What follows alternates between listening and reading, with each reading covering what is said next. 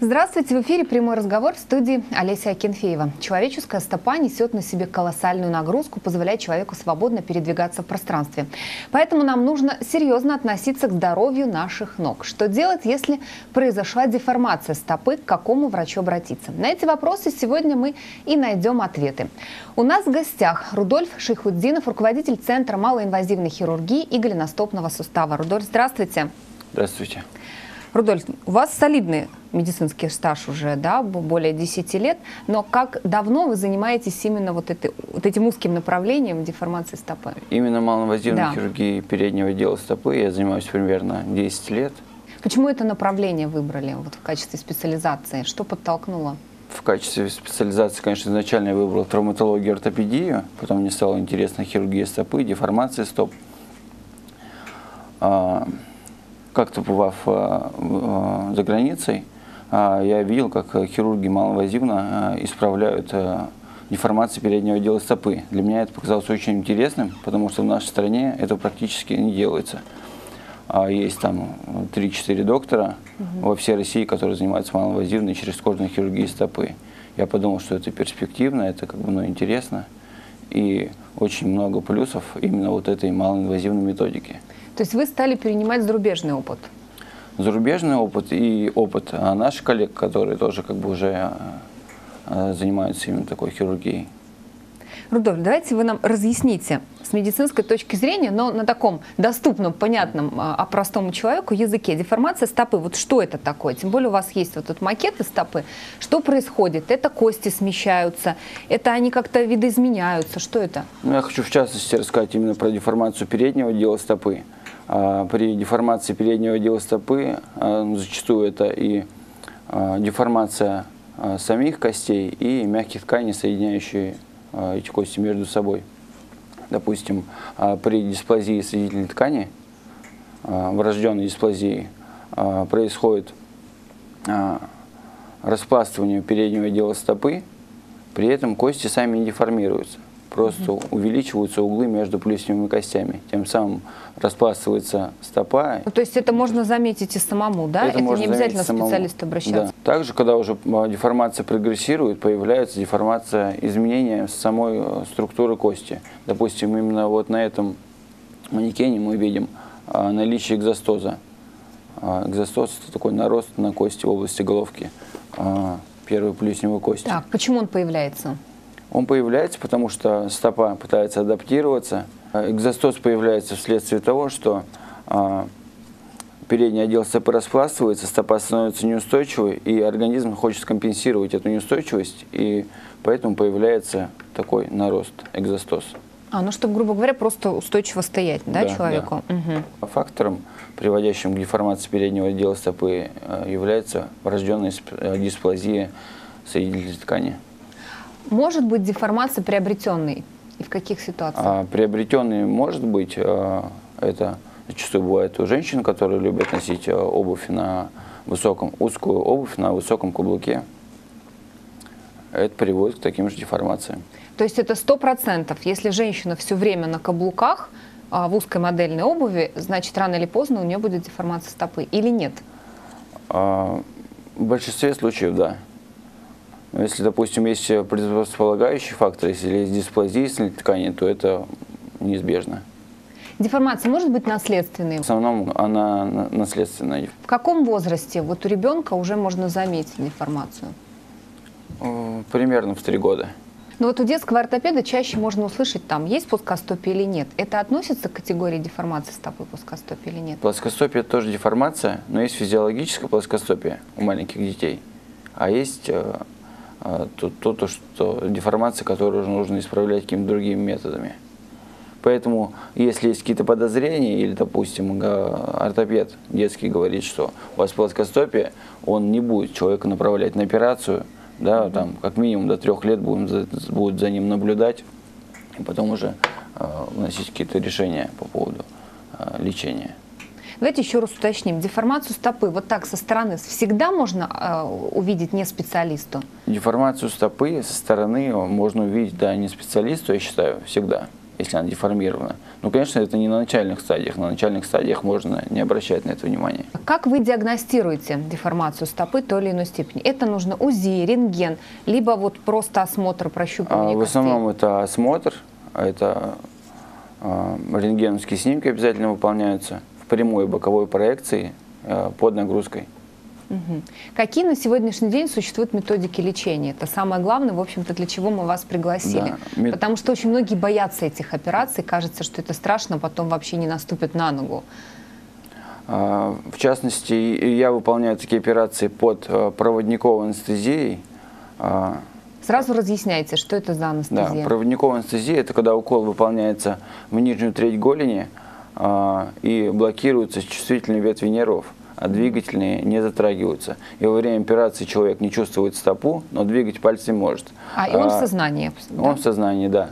И, следовательно, через 4 часа после операции он может а, надеть специальную обувь, обувь и быть активизирован, и uh, даже пойти домой. Четыре часа всего лишь? Да, через 4 часа после операции. А что за специальная обувь? А, специальная обувь а, для разгрузки переднего отдела стопы. Рудольф, после операции в специальной обуви как долго нужно ходить?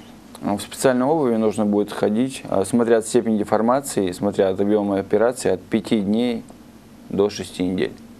И больше никакой дополнительной реабилитации не требуется? Дополнительной реабилитации не требуется. Все э, упражнения, физкультуру, какая понадобится, я как бы это все могу, ну, всем пациентам подробно рассказываю. То есть если человек ранее ходил на фитнес, буквально там через некоторое время он может продолжить все занятия, те же самые нагрузки. Да. Или нагрузки все-таки уменьшаются? Нет, не уменьшаются. Почему? Я думаю, когда э, деформация стопы устранится, то человек может... Э, то есть наоборот, он почувствует больше... легкость, да, и может ну, да. больше даже заниматься. Вы сказали, швы не накладываются, то есть их вообще нет? Там просто После точечки операции швы не да? накладываются, да, потому что э, проколы а, размером 2 мм, поэтому зачастую не приходится накладывать шов. А то есть хирургический пластырь, ну как я да, представляю, да, да правильно, да, да? И все, и через некоторое время он снимается и да. все заживает. А операция делается под рентген-контролем. Да, под рентген-контролем. Вы же неспроста держите вот эту вот эту металлическую штучку, не знаю, как она правильно называется. Да. Вот покажите, как происходит это. А, я выполняю операции под подпроводниковой анестезии малоинвазивно. Традиционно а, для исправления деформации переднего отдела стопы выполняется разрез скальпелем, большой разрез, а, продольные опилы плюсневой кости, фиксация множественным количеством а, винтов. Я выполняю такую операцию через небольшой прокол. Через небольшой прокол проводится вот такая фреза.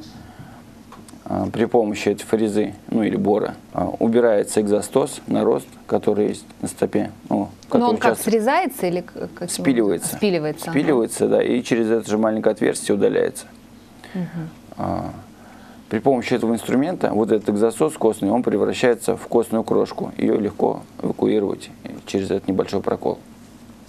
Потом при, при необходимости через этот же небольшой прокол кожного покрова выполняется распил шейки плюсневой кости, головка плюсневой кости смещается чуть к наружу и фиксируется при необходимости винтом. Тем самым первый, первый э, палец выравнивается и шишка вот эта устраняется, угу. экзостоз. Однажды сделав такую операцию, пережив ее, можно ли гарантировать, что больше нароста не будет? Но вот именно малоинвазивной хирургией стопы, которой я занимаюсь, угу при ней а, осложнений возникает меньше, потому что нету больших разрезов кожного покрова, значит, как бы рана намного меньше, а, воспаления меньше, болевого синдрома меньше. Ну и как бы а, после операции нету там большого, большого рубца не остается, и следы от проколов практически не видны, и это дает очень хороший э, эстетический результат. Рудольф, ну смотрите, а потом наблюдаться у вас необходимо? Вот тут провели операцию 4 часа, поехали домой. Да, через э, две недели я всем своим пациентам говорю, чтобы они пришли на повторный прием. А пациентов, которые да, приезжают издалека, я как бы консультирую дистанционно, они отправляют мне э, фотографии своих стоп, э, фотографии рентгеновских снимков. Вот таким образом в основном. Я думаю, что это все зависит от техники выполнения операции. Если операция сделана хорошо, то не будет деформации. Но для профилактики все равно придется как бы реже носить обувь на высоком каблуке, я так понимаю в разговоре, что женщины чаще подвержены такому заболеванию, как деформация стопы. Чаще женщины, да, потому что э, проводились исследования, и, допустим, э, один из китайских ученых, он наблюдал за близнецами, за девочкой и мальчиком, угу. вот, у них у обоих врожденная дисплазия средней ткани была, и вот у мальчика ничего не произошло с стопой, а у девочки она деформировалась вследствие того, что как бы она носила узкую обувь на высоком каблуке. А вообще дети насколько легко переносят подобные операции? А, зачастую детям а, нет необходимости выполнять ага. операции на переднем отделе стопы. Так, а что детям тогда требуется, если вот поставлен диагноз? А, в основном халюкс вальгуса у детей не бывает. Угу. Ну, я, по крайней мере, не сталкивался с халюкс вальгусом у маленьких детей. У маленьких детей это плоско-вальгусная деформация переднего отдела стопы, которая впоследствии может привести к деформации на переднем отделе стопы. А, то есть хирургического вмешательства, хирургического если ребенку поставлен диагноз, не требуется, только Нет. взрослому человеку? Да. Детям это а, приходится выполнять какие-то оперативные вмешательства, в основном, ну, в большинстве случаев это когда есть плоско-вальгусная деформация стопы. А это когда свод стопы уплощен. Тогда делается операция, которая называется артериорез а, делается так, то, чтобы появился вот этот вот свод. Вот, специальный винт в подтаранный сустав, вот в эту область. И, и тем самым формируется вот эта продольная арка стопы. Рудольф, давайте вы все-таки подробнее расскажете про виды деформации, потому что, насколько я поняла, мы пока коснулись только одного вида, да? Ну да, халюкс вальгуса. В переднем отделе стопы мы можем а, иметь такую деформацию, как халюкс вальгус, про которую я уже говорил. Также молоткообразная деформация пальцев – Часто это бывает молкообразная деформация второго пальца. Из-за чего? А, Почему он может так согнуться? Вследствие того, что а, первый палец отклоняется к наружу, для второго пальца а, становится меньше места, и он начинает деформироваться. Угу. Тем самым сухожилие разгибателя пальца сокращается. И оперативным путем малоинвазивное тоже устраняется. Удлиняется сухожилие разгибателя пальца – и тем самым палец выпрямляется. Угу. Также э, в переднем отделе стопы мы можем иметь такую патологию, как метарзалгия, болезнь на натоптыши под головками 2, 3, 4, 5 плюсневой кости. Это тоже от каблуков, полагаю, да? Это тоже от каблуков. Ну и из-за из распластывания переднего отдела стопы. Допустим, у мужчин тоже бывает такая же патология, но намного реже. Также в области переднего отдела стопы мы можем э, иметь такую деформацию, которая называется деформация Тейлора или деформация портных, когда появляется э, болезненный отек, болезненная шишка, грубо говоря, в области головки пятой плюсневой кости. Ну, это зеркальное отображение э, такой деформации, которая называется халькус вальгус на первом пальце. Здесь также через маленький прокол выполняется распиливание шейки плюсневой кости, шейка плюсневой кости смещается к внутри, и пальчик выравнивается. Ну, это вот э, э, деформация, которая чаще всего встречается в этой области. Как вообще можно к вам попасть на прием и на операцию? Вот как найти а, вас? На прием можно а, связаться со мной можно по телефону, который вы сейчас видите на экране. Я всегда охотно отвечаю и если я буду, допустим, занят, буду в операционной, то а, ответит мой помощник и все подробно объяснит. Рудольф, вот сейчас очень многие врачи говорят, что заболевания почти все молодеют. Деформация стопы относится к тем заболеваниям, которые появляются у 20-30-летних? Я считаю, что да, это все связано с модой. С модой на обувь? С да? модой на обувь, да. Какую обувь вы посоветуете категорически не носить? Вот, может быть, мы вас сейчас услышим и поменяем а, свой гардероб. Категорически не носить, как бы я такого не буду говорить, потому что всем девушкам, ну, многим нравится ходить в красивой обуви на высоком каблуке, а, но в повседневной жизни, я считаю, вот от них нужно отказаться.